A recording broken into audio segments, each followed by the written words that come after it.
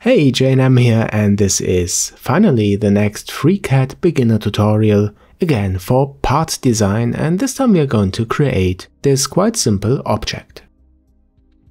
As in the previous part we start with the part design workbench, set this drop down to part design and then create a new project.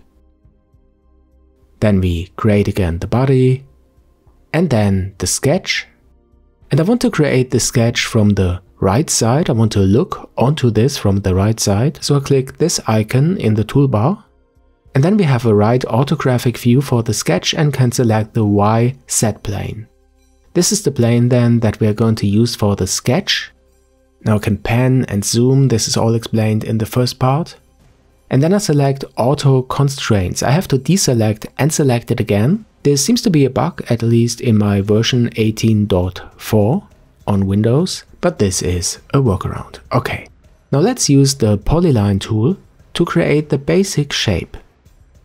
I start at the center point and you see it is highlighted in a yellow color. And on the right side of the icon there is a tiny dot. And this is already an auto constraint, a coincident constraint, so that the starting point of the polyline that we're going to draw is kind of fixed to the center. And this is very comfortable that we get this kind of suggested constraints. Here's the next one, a horizontal constraint and then a vertical constraint, depending on the direction of the current line that I'm drawing. Each time I click, I set the next point. And now comes a nice trick. I want to have a circle, a kind of arc. And for this I can press the M key to switch the polyline tool to create circles, I press the M key three times, and then I hold the Ctrl key pressed so that I can snap the angle in 45 degree steps to create this half circle. Then press M again to return to the polyline mode and close the shape. Okay, this is the basic sketch, but I want to have a hole inside of the top part.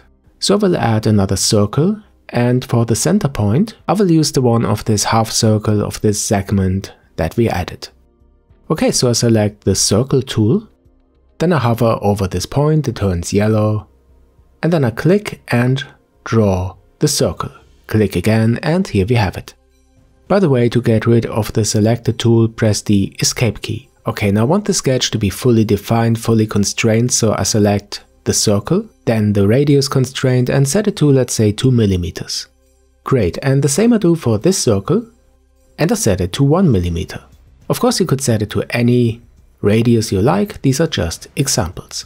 Alright, then I constrain the length. First off, this edge I set it to 17, why not?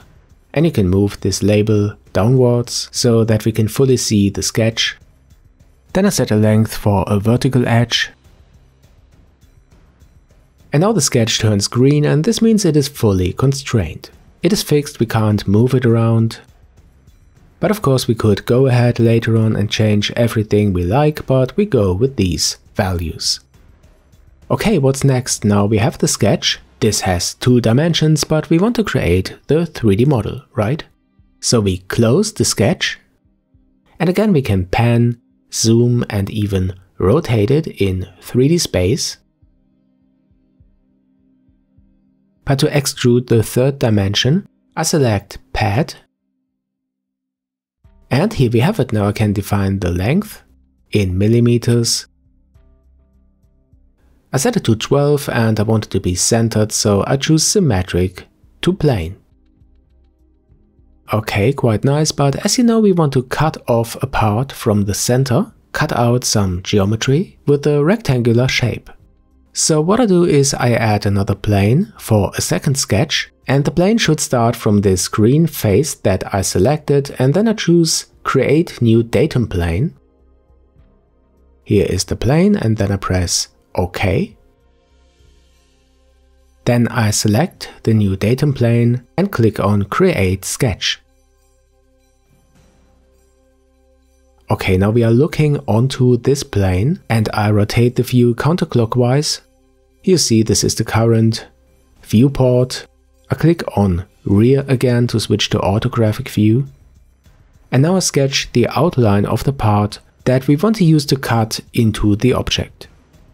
For this I use a rectangle. and I just click to sketch it onto the plane. And of course I want it to be symmetric to the center. And for this I select two outer points. They are green now, they are selected. And then I click this axis, because I want the rectangle to be symmetric to this axis, so I select this constraint, the symmetry constraint.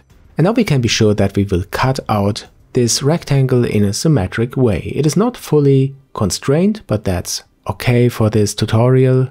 So we can close the sketch anyway. And with the sketch selected, I click this icon in the toolbar, Create Pocket.